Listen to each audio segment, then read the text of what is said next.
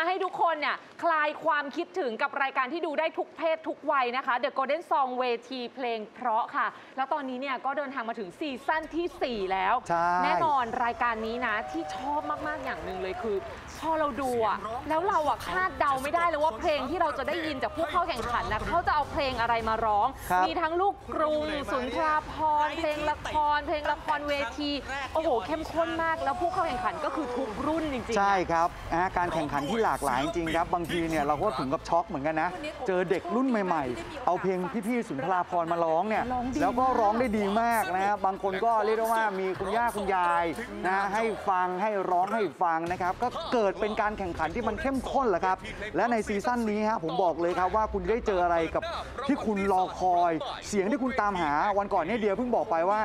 พี่โจโจเม้นมาว่าไม่เคยได้ยินแบบนี้มาก่อน ใช่ โอ้โห เดือดครับ คณะกรรมการมาครบองค์เลยครับ ทั้ง 4 ท่าน มาการันตีด้วยหนึ่งท่านคนนี้ครับ กันนภัทรครับว่าเดอะโกลเด้นซองเวทีเพลงเพราะซีซั่นนี้สนุกขนาดไหนไปฟังกันกันครับ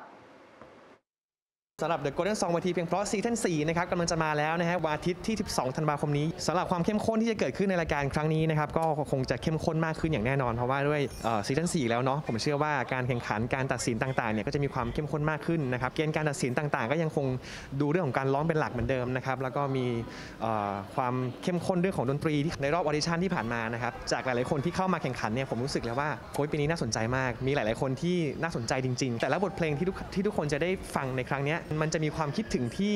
อบอวลอยู่ในในการแข่งขันในครั้งนี้นะครับผมเพราะว่าเรามาในธีมของความคิดถึงด้วย เพราะฉะนั้นนะครับผมก็จะมีเพลงหลากหลาย ที่ทำให้ทุกคนได้กลับมาคิดถึงบทเพลงเก่าๆกันแน่นอนครับเพราะฉะนั้นเนี่ยแฟนๆทุกคนนะครับทุกเพศทุกวัยคุณพ่อคุณแม่คุณตาคุณยายรอชมได้แน่นอนครับรอเชียร์คนที่คุณชอบได้อย่างแน่นอนครับ